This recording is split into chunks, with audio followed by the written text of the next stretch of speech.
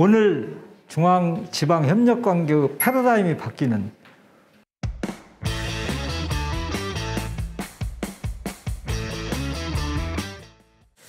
2년여의 팬데믹 상황에서 지방정부는 중앙정부와 협력하여 최선을 다해 방역에 힘쓰고 어려운 상황에 있는 지역 주민을 위한 정책을 제안하고 실현해 왔습니다. 지난해에는 지방자치법 전부 개정, 자치경찰제 도입, 주민참여 확대, 재정분권, 중앙지방협력회의법 제정, 그리고 한국방 지역균형 뉴딜, 초강력 협력 지원 등 자치분권과 균형 발전의 성과가 있었습니다. 어, 이러한 성과는 모두 중앙과 지방 공동 노력의 결과입니다. 오늘 시도지사들은 지방정부를 대표하여 중앙지방협력회의의 발전과 자치분권 균형 발전을 위한 많은 의견을 제시하였습니다. 이에 관해서 말씀을 드리겠습니다. 먼저 중앙지방협력회의 운영 방안에 대한 의견입니다.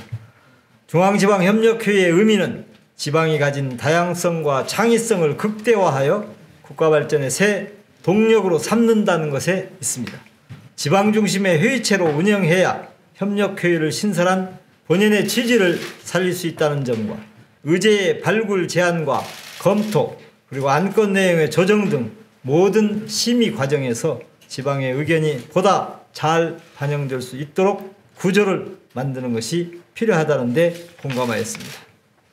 이러한 의제의 발굴과 조율을 하는 지원단의 기능과 지방의 목소리를 중점적으로 대변할 수 있는 지원단 구조를 설치하여 운영하는 데 대해서는 제2차 회의에서 다시 논의하여 결정토록 하였습니다.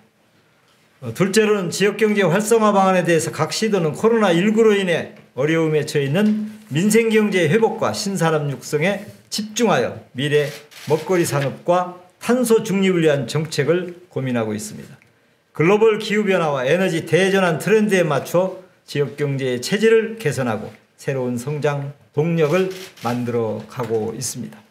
이를 위해 균형발전 정책이 속도를 내야 한다는 점과 중앙정부의 재정 지원의 필요성이 강조되었습니다.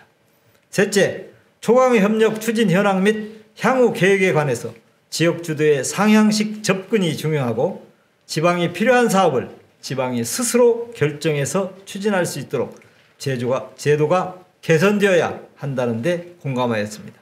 중앙정부는 형식적인 지원보다는 초강력 협력에 걸맞는 더 과감한 권한 이양과 재정의 포괄적 배분, 자주적 권한을 부여하는 방안으로 지원 정책이 추진되어야 합니다.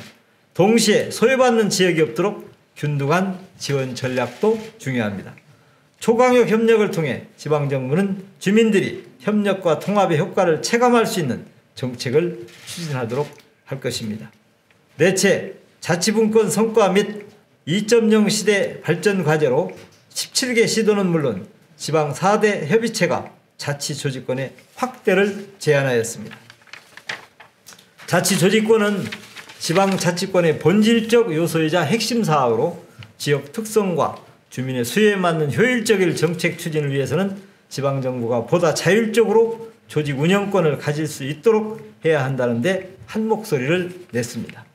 이를 위해 지방 4대 협의체와 행정안전부 관계 전문가가 참여하는 TF를 구성하여 방안을 마련하고 자치조직 통합 정보 시스템을 구축하자고 제안하였습니다.